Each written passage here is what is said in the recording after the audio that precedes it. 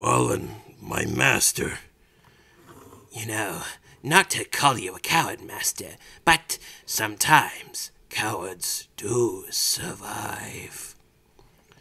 You're a Dorito, Starscream. I know. I get that all the time. Spare me!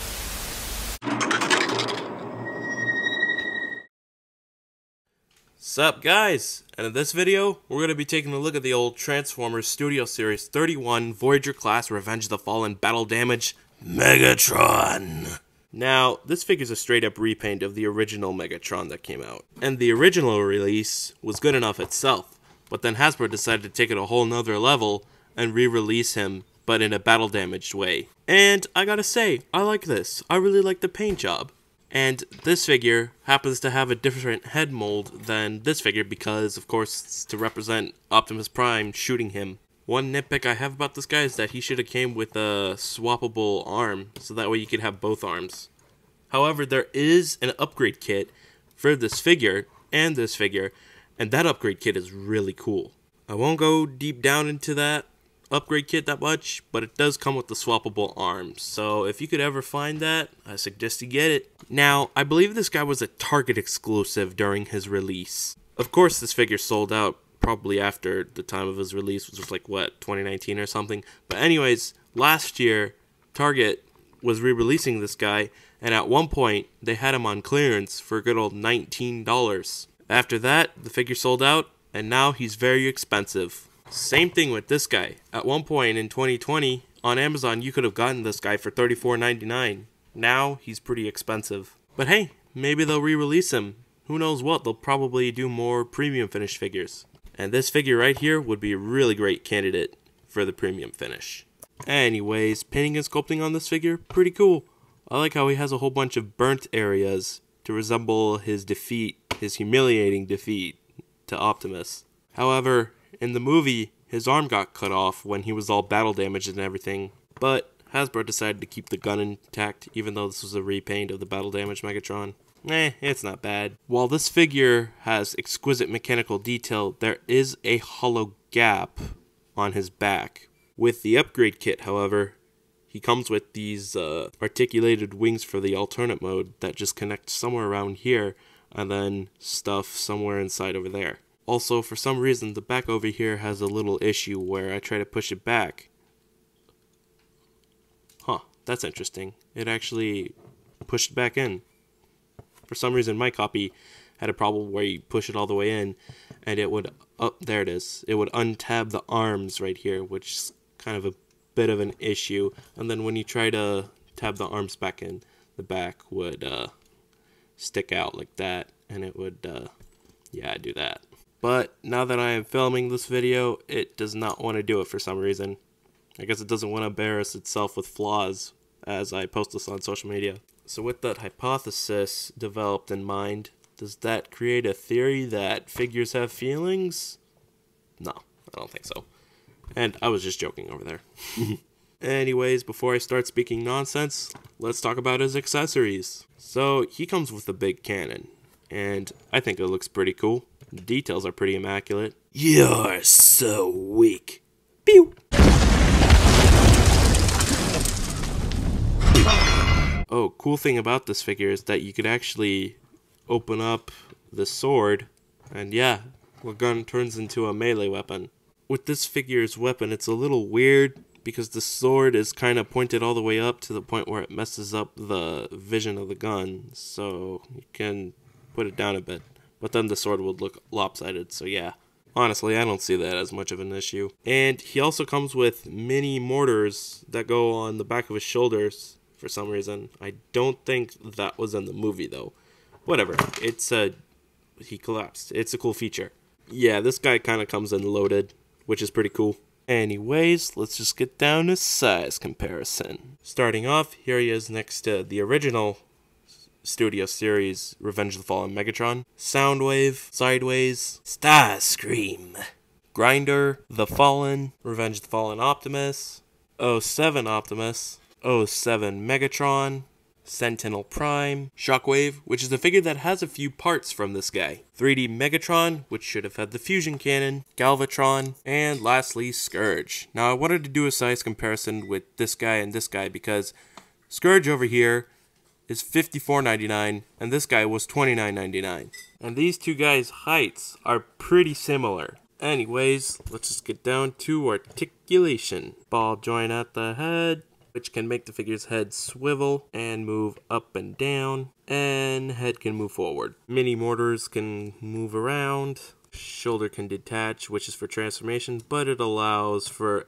an unintentional butterfly joint. Full rotation at the arm, bicep swivel, bent at the shoulder, fingers can articulate, and for this side with the fusion cannon, there is a thumb that can move out, which is weird, but whatever. Also, there's no wrist swivel for this hand, and no waist swivel.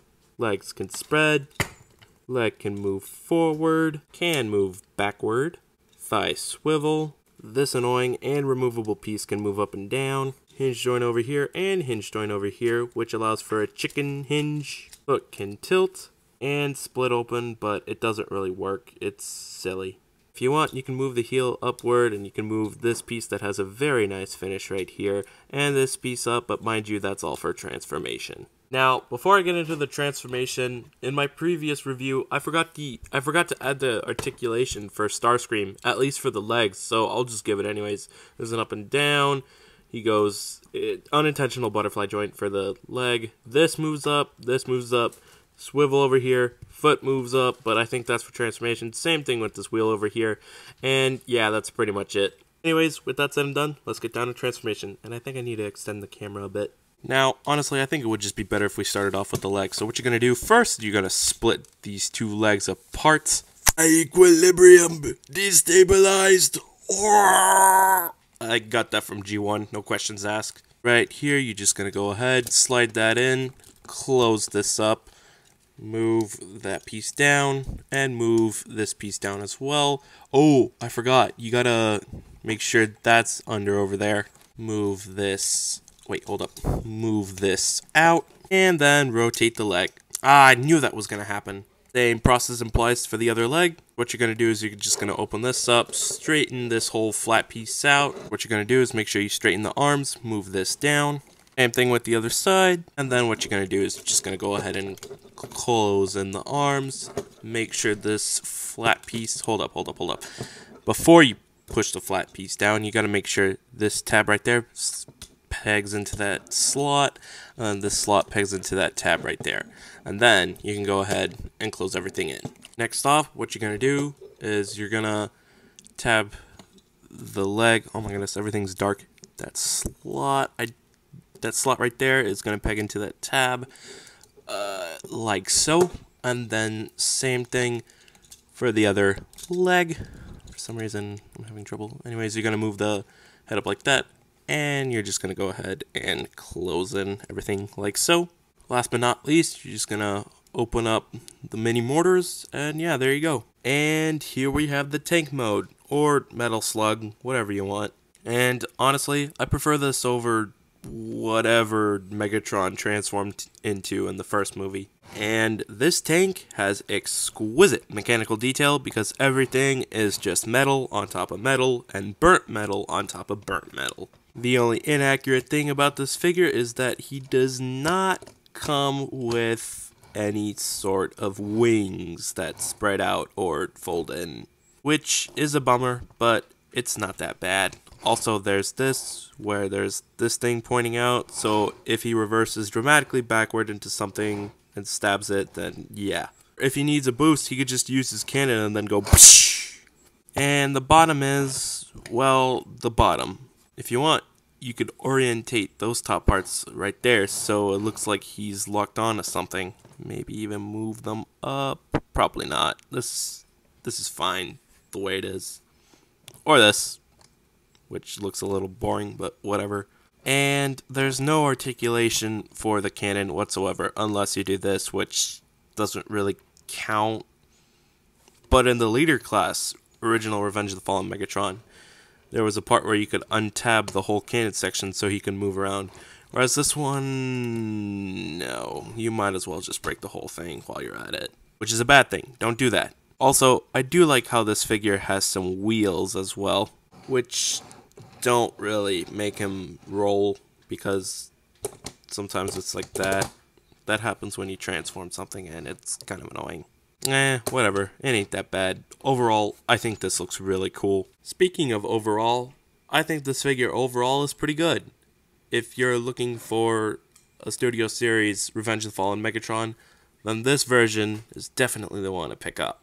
After all, he does come with a lot of weathering, dry brush paint, maybe, and a menacing battle damage head. Anyways, if you like what you saw in this video, be sure to slam that like button and be sure to share it with your friends. But most importantly, be sure to hit that big red button. And uh, yeah, I think that's pretty much it.